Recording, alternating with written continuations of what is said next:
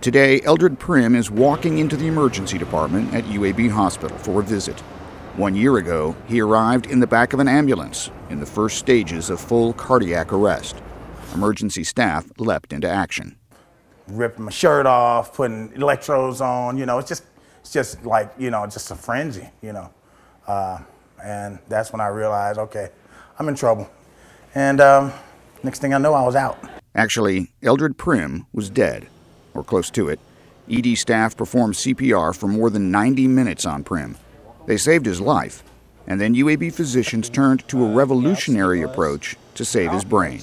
Therapeutic hypothermia is the state-of-the-art recommended technique for treating survivors of cardiac arrest. The loss of oxygen-bearing blood to the brain during cardiac arrest leads to brain damage. It's like turning off the water tap to the entire house. When you turn the water main back on, there's a lot of damage that occurs as the blood gets flow gets restored to all of the vital organs in the body. For reasons not entirely understood, cooling a patient, then rewarming them, seems to prevent that brain damage.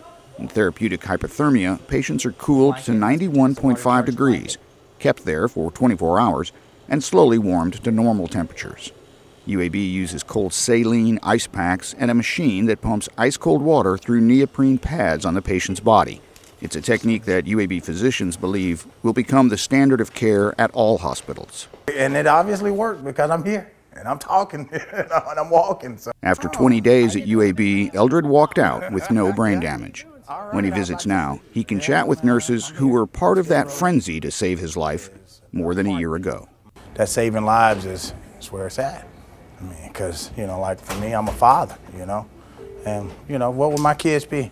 Wow. You know what I'm saying? If you all didn't fight for me. So that's. So glad that's, you did well. I'm glad you all did well, you know what I mean? So, you know.